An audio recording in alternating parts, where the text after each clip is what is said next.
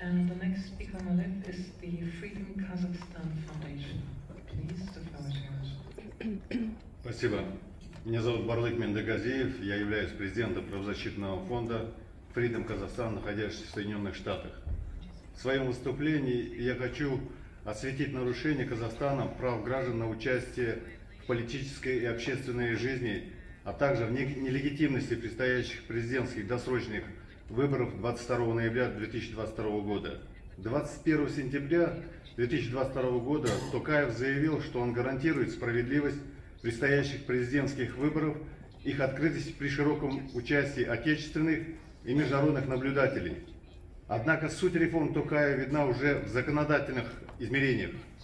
Во-первых, фактически лишает независимых наблюдателей из гражданского общества наблюдать за выборами, поэтому мы обращаемся к ОБСЕ предусмотреть встречи с гражданским обществом и фиксировать препятствия местным а, независимым наблюдателям со стороны а, властей Казахстана.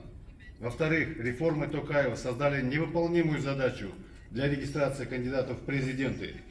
Положение нового закона о выборах противоречит самим себе. Например, президент объявляет дату внеочередных выборов, и они проводятся в течение двух месяцев. При этом выдвижение кандидатов заканчивается за два месяца до, не, до дня выборов. То есть у кандидатов президента нет даже одного дня для выдвижения казахстанцев лишили права выдвигать кандидатов и самовыдвигаться на выборы. Это могут сделать только общественные организации с девятью филиалами по всей стране.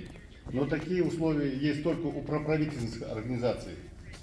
Ну и чтобы совсем наверняка независимый кандидат президента не прошел, реформы Тукаева предусматривают, что кандидат должен собрать подписи 120 тысяч подписей по всей стране за 9 дней. Это нонсенс.